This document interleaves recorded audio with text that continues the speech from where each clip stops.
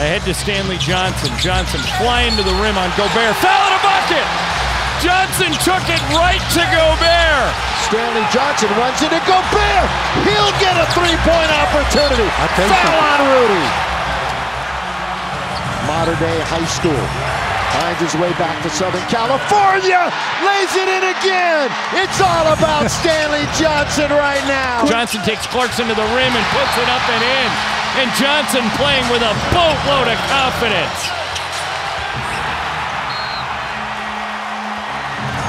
Johnson driving to the basket again. Leans into Gobert, got around him and put it in. It's the Stanley Johnson show. Who would have thunk this?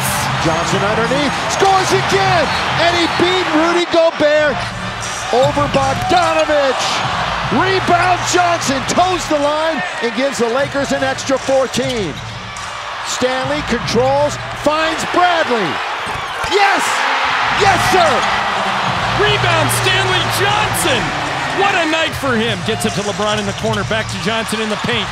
Kicks it to Avery Bradley for three. Done! Stanley Johnson with the assist. Avery Bradley. Lakers lead by six.